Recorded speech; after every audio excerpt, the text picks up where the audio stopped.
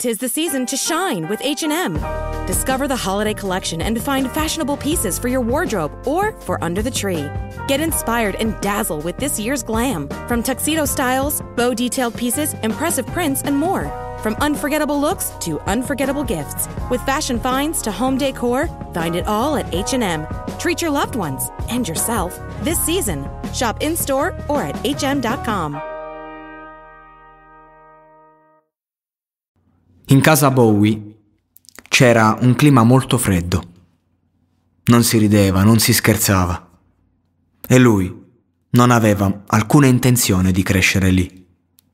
Era determinato fin da piccolo a fare qualunque cosa per andarsene. David era terrorizzato all'idea di poter diventare schizofrenico.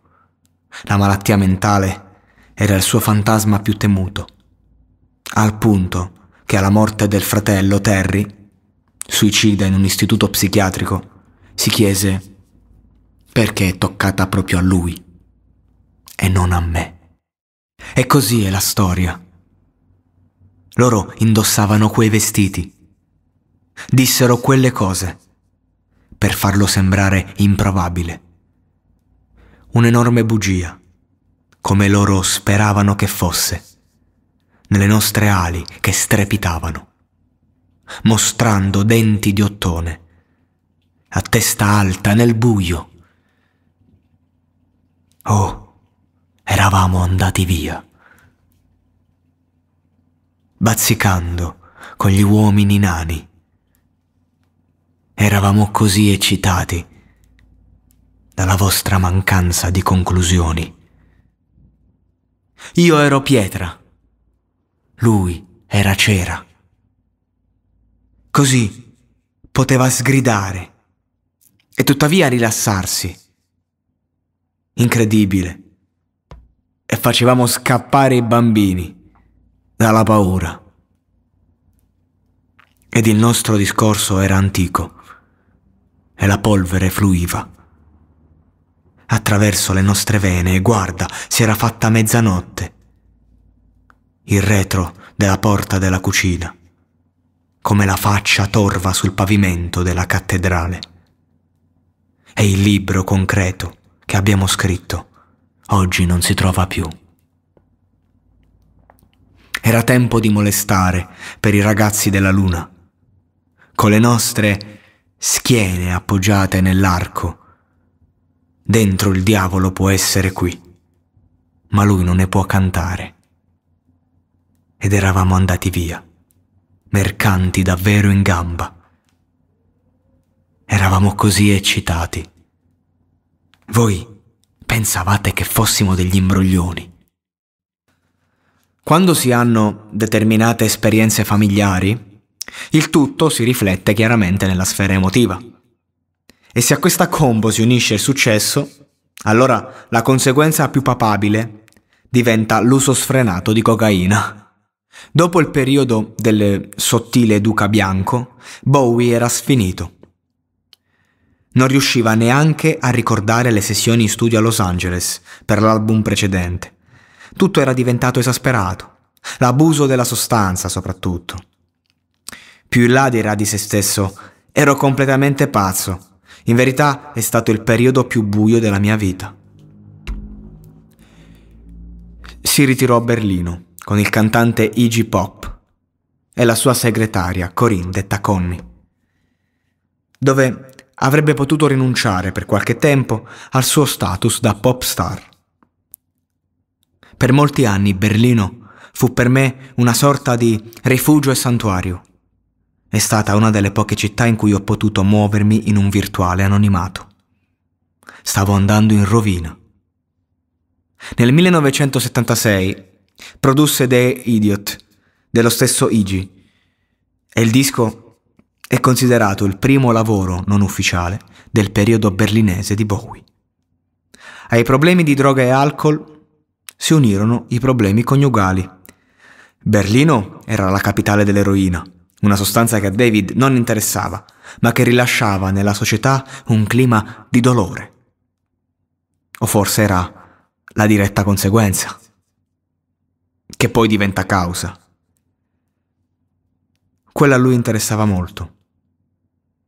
Sto parlando del dolore. Perché comunque lo rispecchiava.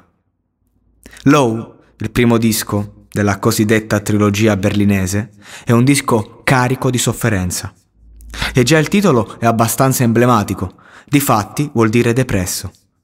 E la scelta dipende anche dalla voglia di tenere un profilo basso, di low, basso profilo, da parte dell'artista, con i vent'anni più eccentrici che si ricordano. Un ventenne così proprio. Il minimalismo di artisti tedeschi come Brian Eno influenzarono David Bowie anche nella scrittura, in quanto le parole non erano così necessarie. Ma a fatti concreti io sostengo che necessariamente eh, Bowie stava iniziando a capire il concetto di poesia fino in fondo. Uno stile che puoi conoscere solo quando non ci si accontenta del talento e si scava a fondo nelle proprie turbe più intime e viscerali. Ecco la differenza tra Bowie e tanti altri artisti è che Bowie, dopo il successo, ha continuato a scavare, a volte raffinandosi come in, questo, in questo caso, a volte divertendosi come quando ha scritto le hit più pop. Però, senza dubbio, lui non faceva arte né per soldi né per eh, pura esigenza. Lui faceva arte perché era tutta la sua vita. A volte ti ritrovi così solo. A volte non riesci ad arrivare da nessuna parte. Ho vissuto in tante parti del mondo. Ho lasciato ogni posto. Per favore, diventa mia. Dividi la tua vita con me. Resta con me. Diventa mia moglie. A volte ti ritrovi così solo. A volte non riesci ad arrivare da nessuna parte. Ho vissuto in tante parti del mondo. Ho lasciato ogni posto. Per favore, diventa mia. Dividi la vita con me. Resta con me. Diventa mia moglie. A volte ti ritrovi così solo. Il mood di Low continua anche nel disco successivo, Heroes, contenente la storica hit omonima, ed è l'unico della trilogia tedesca ad essere stato registrato a Berlino. L'ultimo di cui parliamo in questo podcast. David era diventato un simbolo per i giovani berlinesi. Il disco porta dentro sé l'anima di quella guerra fredda, del muro, della solitudine quella che ad esempio deriva dall'abuso di droga, per dirne uno. Racconta una città stanca, sporca, che ha tanto bisogno di urlare, ma che deve ancora tacere dalla vergogna. La copertina e il videoclip del singolo lo vede senza maschere o filtri, non come nei dischi precedenti Qui Bowie non era un personaggio, era se stesso, nitido e reale, semplicemente complesso, perché non c'è bisogno di camuffarsi quando la realtà è già narrata dal tuo sguardo. Un umano troppo umano per essere disceso dallo spazio come ci aveva abituati. Quel giorno, quando scrisse Heroes, vide due amanti che si abbracciavano e baciavano. Nacque un inno di liberazione, dall'amore per l'amore, con l'amore. Raccontò l'impossibile. La luce in fondo al tunnel di un vicolo cieco. Io. Io riesco a ricordare. Mi ricordo.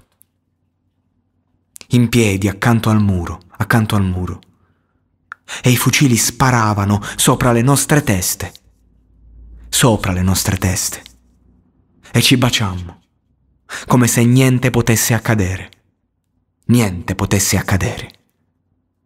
E la vergogna era dall'altra parte. Oh, possiamo batterli, ancora e per sempre. Allora potremmo essere eroi, anche solo per un giorno. Noi non siamo niente e niente ci aiuterà. Forse stiamo mentendo. Allora è meglio che tu non rimanga, ma potremmo essere più al sicuro. Solo per un giorno. Solo per un giorno. Possiamo essere eroi.